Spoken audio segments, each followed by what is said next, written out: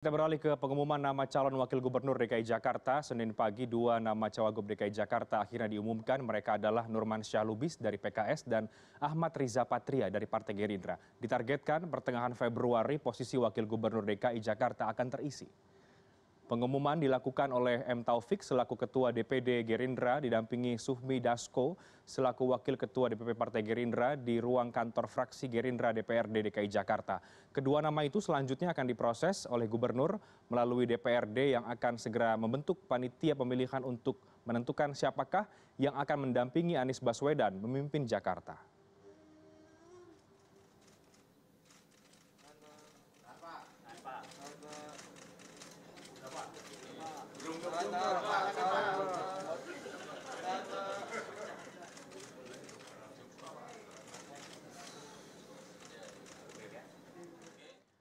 pengumuman nama calon wakil gubernur dki jakarta oleh fraksi partai gerindra pada senin siang sangat disayangkan oleh fraksi pks karena tidak ada perwakilan yang hadir. Pks mengaku baru diberitahu akan ada konferensi pers satu hari sebelumnya ditemui di kantor fraksi partai keadilan sejahtera dprd dki jakarta ahmad yani sekretaris fraksi pks dprd dki mengatakan bahwa jika memang gerindra ingin beriringan sebaiknya dilakukan pertemuan untuk duduk bersama terlebih dahulu sebelum mengumumkan nama nama yang akan bertarung dalam kursi wakil gubernur dki jakarta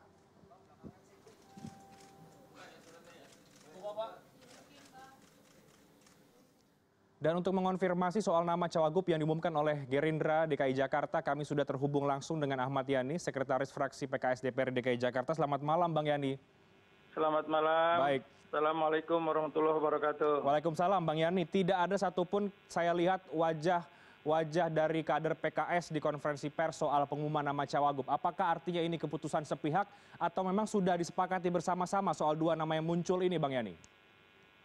Iya.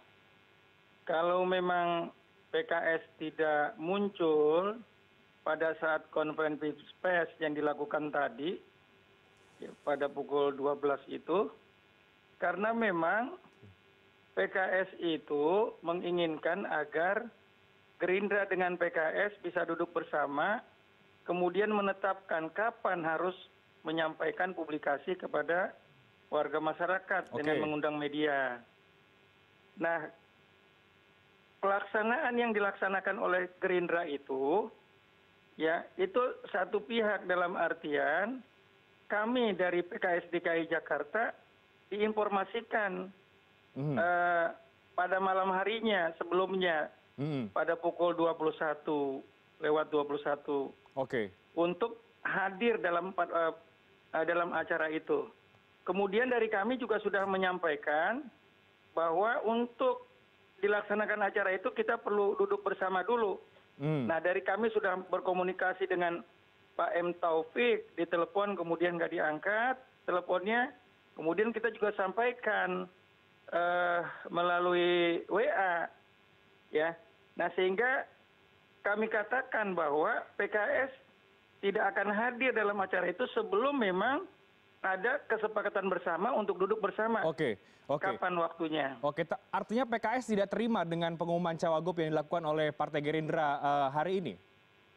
Ya kami memandang bahwa untuk sesama partai pengusung, bagaimana memang kita bisa menjaga eh, hubungan yang baik ya.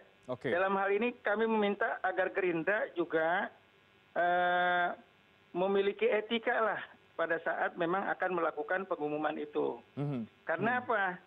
Karena permintaan kami bahwa kita perlu duduk bersama dulu, ya tidak terpenuhi, dia langsung berjalan seperti itu. Makanya dari PKS memang tidak hadir pada saat itu. Oke, baik. Baik, Bang Yani, tapi kan di surat itu sudah ada tanda tangan dari Presiden PKS, Sekjen, soal dua nama itu. Artinya di luar eh, diundang atau tidak diundang konvers, sudah ada kesepakatan dong soal dua nama yang muncul?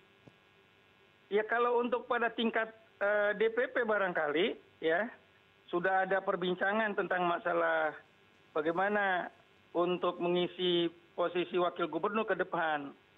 Ya cuma ya yang memang informasi yang kami eh, ketahui bahwa PKS menyodorkan eh, kader terbaiknya Mhm. yaitu Pak Nurman Salubis. Hmm. Ya, sementara dari pihak Gerindra eh, Pak Ahmad Riza Patria itu.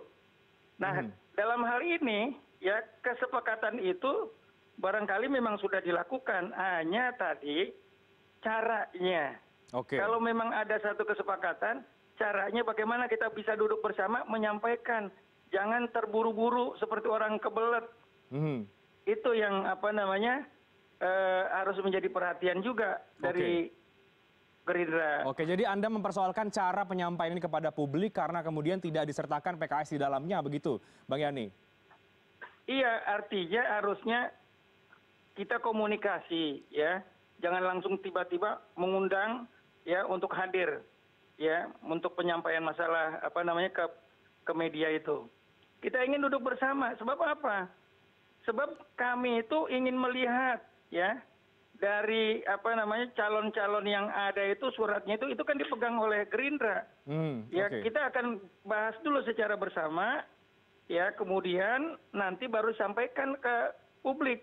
Ini Oke. kan prosesnya dari calon eh, yang dua disampaikan oleh PKS pada waktu lalu, kan kita perlu tarik, ya. Setelah kita tarik, nanti baru kita usulkan yang baru. Nah, ini perlu ada satu kesepakatan bersama. Mhm. Itu yang kami Oke. inginkan. Baik, Bang Yani, eh, sebelumnya kan yang muncul kan dua nama PKS saja begitu, Pak Agung Yulianto dengan eh, Pak Ahmad Syaiqo. Bahwa kemudian Ya. sekarang justru muncul dua juga, tapi justru yang satu adalah betul-betul dari kader Partai Gerindra. Tanggapan Anda bagaimana? Artinya tidak sepenuhnya kursi Wagub itu menjadi hak dari PKS yang selama ini dirasa menjadi hak PKS sebetulnya. Iya. Jadi kalau kesepakatan awal pada waktu lalu untuk wakil gubernur ini kan hak PKS. Karenanya PKS sudah menyampaikan dua cawagupnya, yaitu Pak Agung Yulianto bersama dengan Pak Ahmad Syaiqo. Saihu. Nah, ini kan waktu itu proses sudah berjalan.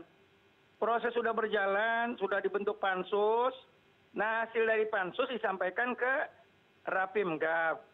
Hanya saja di Rapim Gap ini tiga kali dilaksanakan Rapim Gap, ya dari pimpinan Gerindra dan juga ada pimpinan yang lain tidak hadir sehingga tidak korum. Hmm. Nah karena nggak korum, sehingga apa yang eh, akan ditindaklanjuti yaitu bagaimana melaksanakan eh, pemilihan melalui paripurna, jadi belum terwujud. Nah dengan melihat seperti itu mundur, sementara sekarang kan publik ya warga masyarakat DKI Jakarta menginginkan agar ada wakil gubernur karena kasihan Pak Gubernur bekerja sendiri dan Ya. tidak mungkin menyelesaikan persoalan Jakarta sendiri. Nah, karenanya apa yang menjadi keinginan publik kita pun nangkap bahwa di sini PKS tidak ego dalam artian memperhatikan kepentingan publik itu yang kita utamakan untuk warga Jakarta bisa mendapatkan perhatian dari kepala daerahnya. Hmm. Nah sehingga dibangunlah satu komunikasi karena ada keinginan dari Gerindra mengajukan eh, empat nama.